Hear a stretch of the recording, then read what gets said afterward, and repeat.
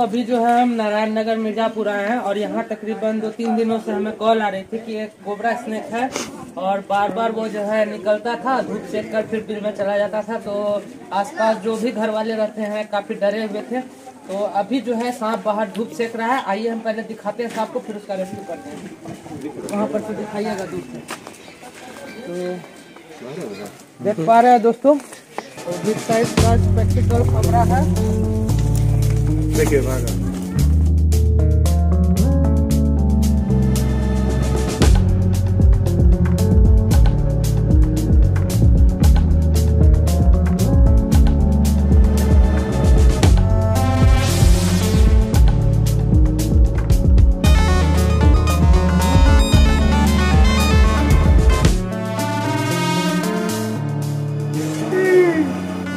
देखो देख पा रहे हैं दोस्तों। शांत रहिए आप लोग। आप लोग शांत रहिए ना। तो ये जो सांप है साथियों ये एक जहरीला सांप है। और हालाँकि ये अपनी जगह पर था चुपचाप बैठता था रोज निकलता था और आकर धूप सेक कर बिल में चला जाता था। इसका ये मतलब नहीं ये किसी को काटने के लिए था यहाँ पर किसी का दुर्घटना हो सकती थी।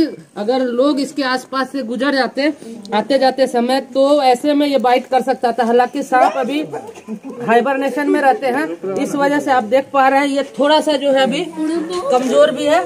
देख पा रहे हैं इसको भागने का तो सांप जो है दोस्तों, ठंड में जो है हाइबरनेशन में जाते हैं शीत निद्रा में जाते हैं।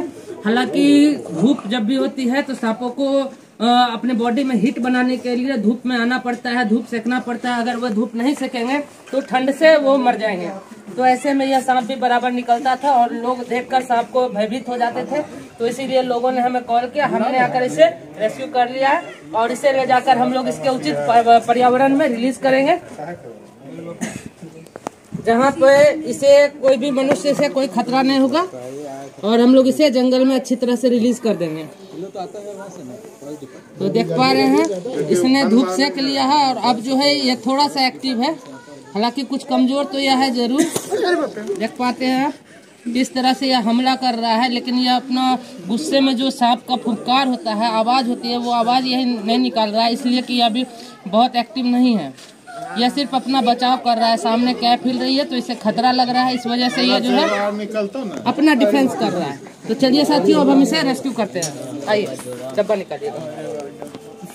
हाँ तो आइए साथियों अब इसका हम लोग सुरक्षित तरीके से रेस्क्यू करते हैं।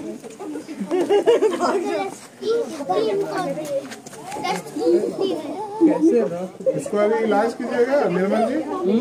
इलाज नहीं नहीं इसका इलाज धूप है। इसका इलाज जो है ना धूप है।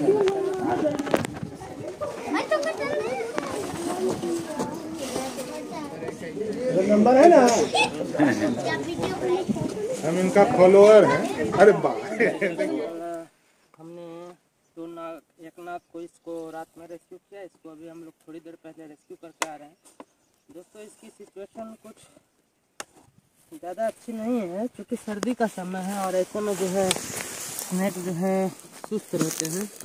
और इसे हम लोगों ने रात में किया था रेस्क्यू देख सकते हैं आप दोनों को। और दोनों को ही हम लोग नेचर में ला चुके हैं, रिलीज़ करने। तो चलिए हम पहले इसे ही निकालते हैं। तो इसकी बॉडी पर दोस्तों आप देख सकते हैं, काफ़ी सारा कलर रखा हुआ है। क्योंकि ये जिस जगह पर रहता था, वहाँ पर जो है काफ़ी सारा कचरा फेंका जाता था और उसी कचरे में जो है इसे कलर लग गया ये। तो देख सकते हैं, इसे हम लोगों ने रिलीज़ कर दिया है। धूप है, अभी यह अपने धूप में अच्छे से सरवाइव कर सकती है।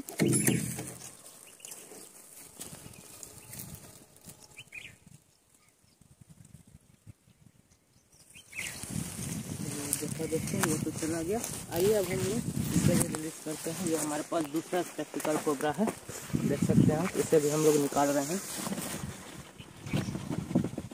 देख सकते हैं दोस्तों, हमने इसे निकाल दिया है। जा रहा है, हम चाहेंगे थोड़ी दूसरी तरफ़ जाए। क्योंकि इधर जो है पहला वाला स्नेक गया है, हो सकता है दोनों आपस में लड़ाई कर दे। तो इसे चाहेंगे, ये थोड़ी दूसरी तरफ़ जाए देखिए, पहला स्नेक भी वहीं पर है। और ये जा रहा है, दूसरी तरफ़ जा रहा है, चला जाएगा। चलिए दोस्तों हैं जाने देते हैं।